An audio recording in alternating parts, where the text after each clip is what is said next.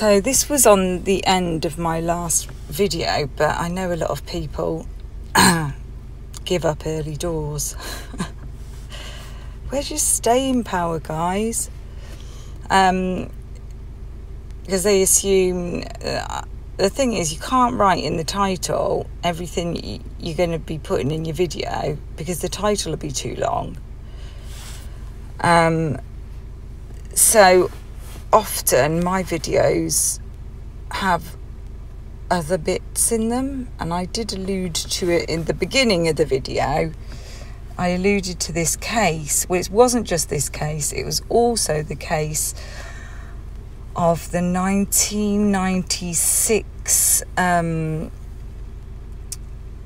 homicide of Catalina Palomino of um, Houston, in Houston, Texas, and it was a stabbing also.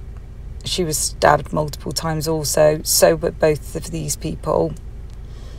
Um, Agnes was stabbed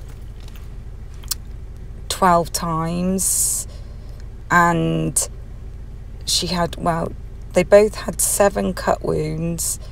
Sorry, Agnes had 15 stab wounds and Lloyd Courtney, these two people you see here, he had 12 stab wounds and they both had blunt force trauma, multiple blunt force trauma injuries.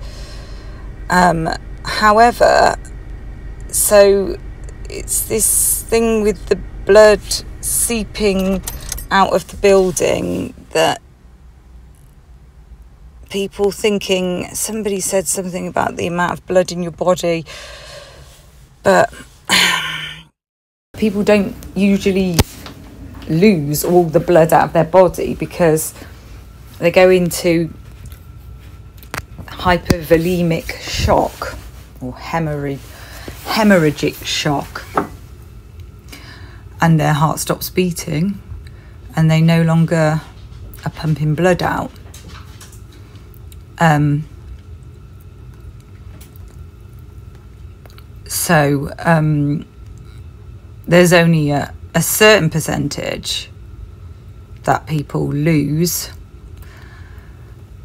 And it also doesn't just go down, it would spread out.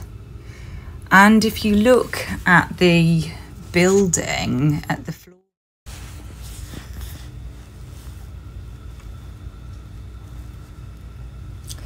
So I don't know if they knew exactly how that bed was positioned here.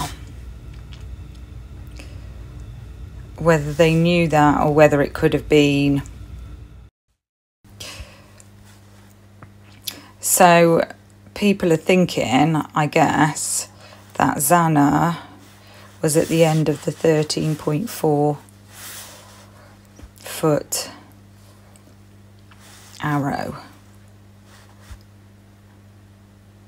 Which, if she wasn't on the bed, and I don't think that we can be very confident of where anybody was, to be honest. I mean, apart from which rooms that they were in.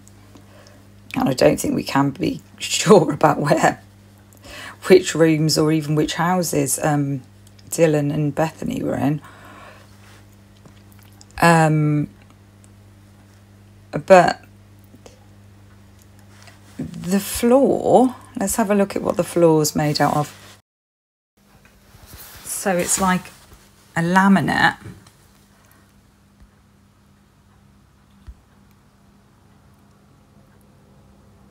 And in a second, you can see when Kaylee comes from one room into another. And this is so common in student accommodation um, where they just put the same floor throughout. I mean, you can see it's different as they go up the stairs, but on the same level,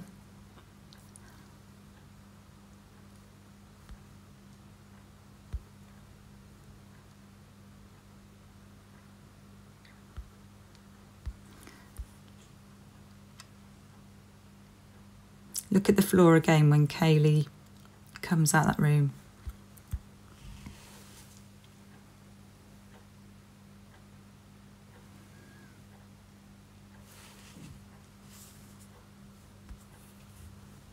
And I, I mean, it, look, it looks quite fairly nice floor as well. I just think that blood would have just spread. I mean, maybe some might have got through that, not onto the outside wall though. I think people need to get be a bit realistic. So I want to show you this video so that you can see can you, so that you can see what a real crime scene looks like because they've painted the picture of a of a horror film basically. And it, and it would be pretty it would be horrific to see no doubt but probably not as horrific as we've got in, as what we've got in our minds.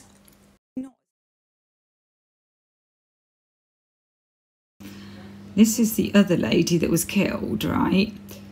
And um, that's the girl who was 15 years old and is still in prison now who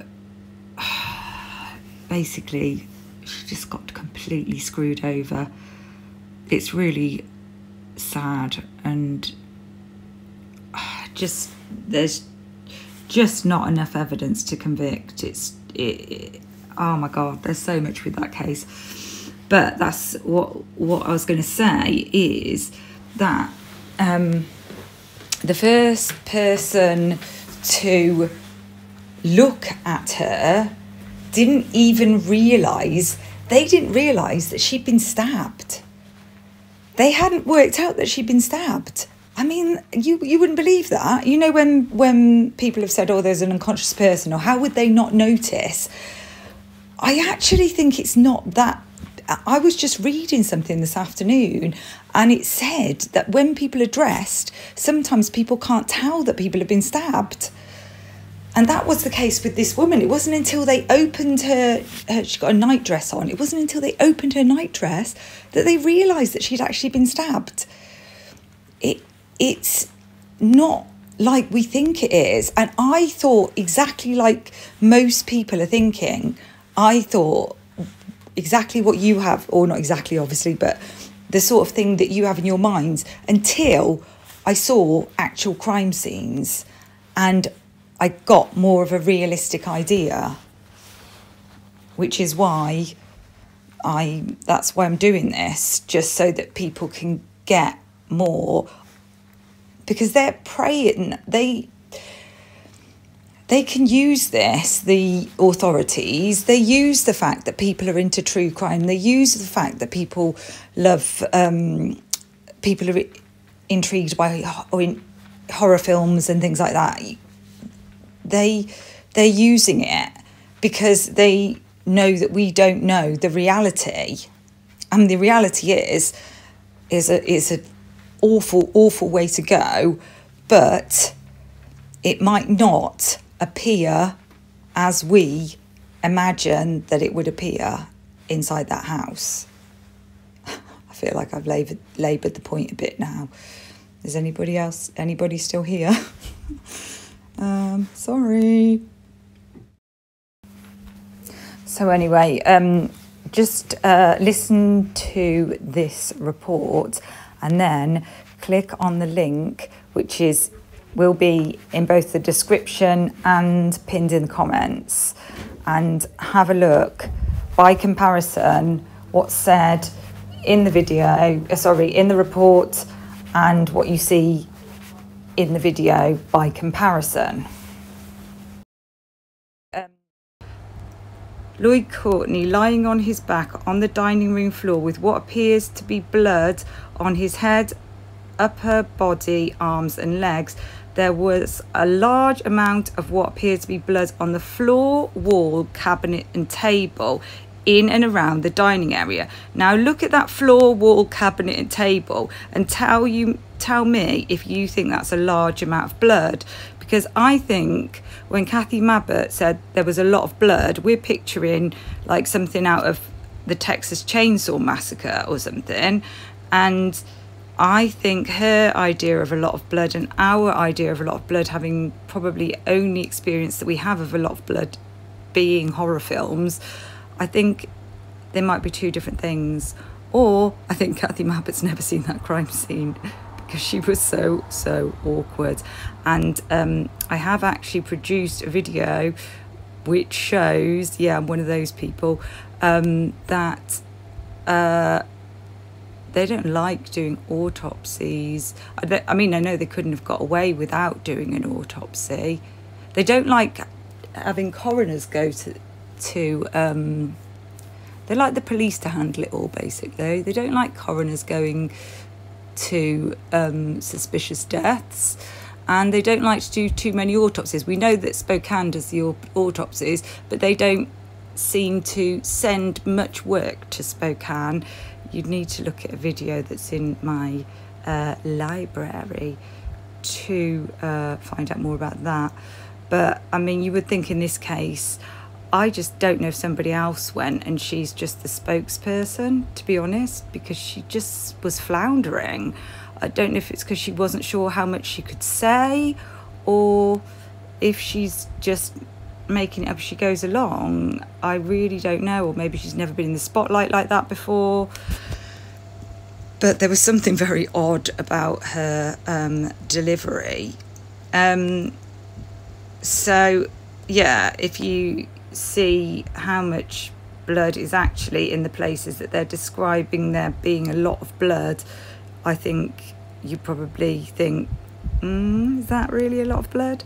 Um, Detective Hardy also observed broken pieces of a frying pan on the floor near.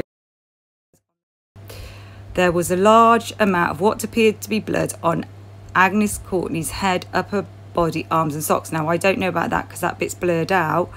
But this bit, there was also a large amount of what appeared to be blood on the bed wall, uh, sorry, floor, wall, walls, door, dresser and mirrors. Now you have a look at the bed, floor, walls, door, dresser and mirrors and tell me if there's a lot of blood there because I just don't know if they're like if it's because they've seen the scene and it and it hit them in the face because it seemed so powerful that it felt like a lot or if they're just exaggerating so that it's more shocking for the conviction I don't know.